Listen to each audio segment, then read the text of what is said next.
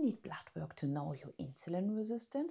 If you're always tired after meals, you feel hungry an hour after eating, or you carry most of your weight around your belly, waist to hip ratios above 0.85, that's almost a surefire sign that you're struggling with insulin resistance.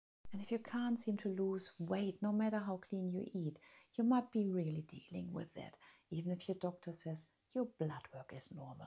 You don't need another blood work test to see what your body is already showing you every single day. Don't ignore your symptoms. Do you crave sugar in the afternoon all the time? Do you feel lightheaded, anxious if you skip a meal?